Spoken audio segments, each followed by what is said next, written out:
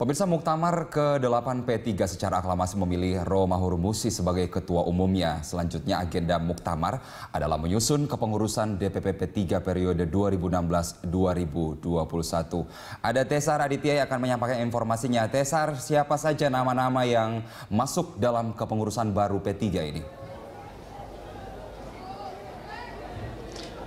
Ya, Carlos, memang agenda pada Muktamar hari terakhir Partai Persatuan Pembangunan ke-8 uh, di yang diselenggarakan di Asrama Haji, Haji Pondok Gede Bekasi ini memang hari ini sedianya akan memilih siapa saja yang menjadi pengurus formatur ya, pengurus dari Partai Persatuan Pembangunan selama masa kepemimpinan uh, Ketua Umum baru Roma Hurmuzi yang nantinya akan memimpin 2016 hingga 2021.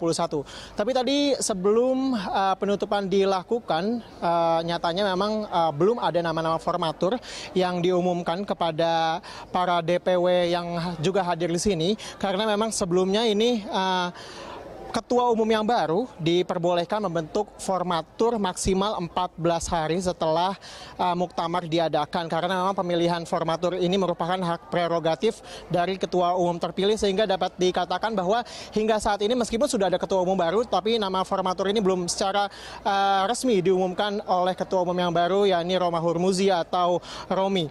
Dan tadi uh, pada penutupan uh, Muktamar P3 pada hari ini tadi dihadiri langsung oleh Presiden Yusuf Kala dan juga Ketua Umum uh, yang baru Roma Hurmuzi atau Oromi kemudian juga dihadiri oleh kader-kader PKB dari seluruh DPW di Indonesia.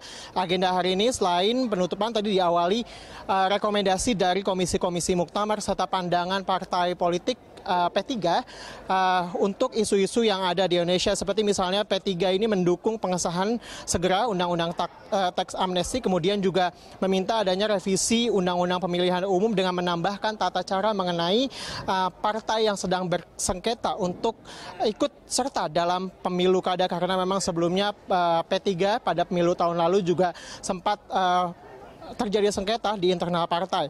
Dan tadi juga uh, Presiden Yusuf Kala juga menyampaikan pidato penutupannya yang berisi uh, tidak jauh sebenarnya seperti pesan yang disampaikan oleh Presiden Joko Widodo beberapa waktu lalu yang ia juga menyampaikan bahwa muktamar kali ini sedianya menjadi pemersatu dan juga media pemersatu kubu yang bertikai antara kubu uh, Muktamar Surabaya maupun Muktamar di Jakarta. Seperti Jokowi, JK juga menghimbau agar tidak membuang-buang waktu untuk hal-hal yang tidak perlu apalagi perpecahan seperti ini. Tadi juga disampaikan pidato politik dari Ketua Umum terpilih Roma Hurmuzi yang menyatakan bahwa uh, dalam masa kepemimpinannya ia menargetkan bahwa P3 akan kembali meraih uh, tiga besar dalam pemilu pada tahun 2019. Ia juga mengatakan bahwa ini merupakan uh, bukan merupakan hal yang ambisius karena P3 dalam sembilan kali mengikuti pemilu baru sejak 2004 tidak menjadi partai tiga besar 2004 dan juga 2009 kita tahu setelah reformasi P3 kemudian tidak menjadi partai yang duduk dalam tiga besar pemenang pemilu. Dan seperti kita tahu juga, memang uh, mengapa kemudian uh, belum dipilih formatur hingga saat ini.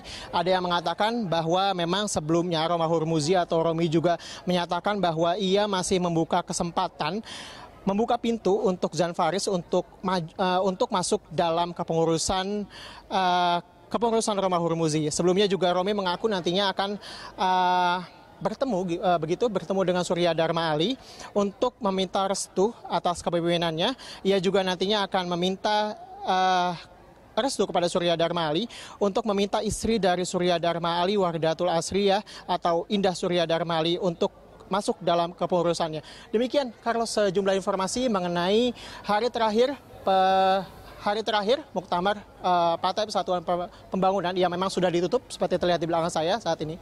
Demikian Carlos.